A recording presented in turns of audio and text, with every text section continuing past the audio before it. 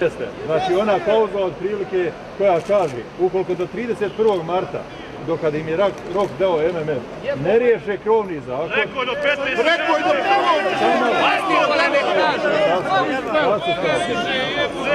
U tački 5 oni kažu da će po automatizmu aktivirati naša prava. Ti na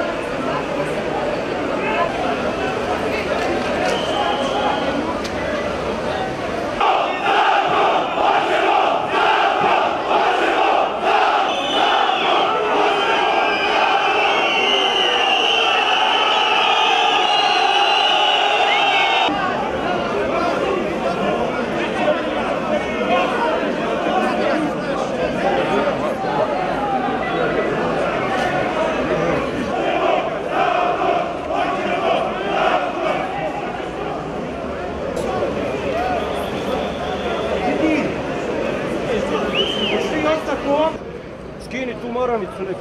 Nemoj, nemoj, nemoj. Nemoj, nemoj, nemoj.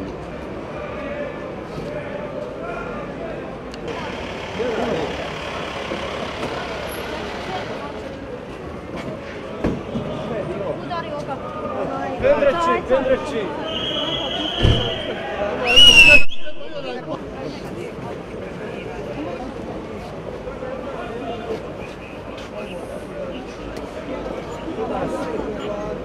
Da li je Peljek žalio na...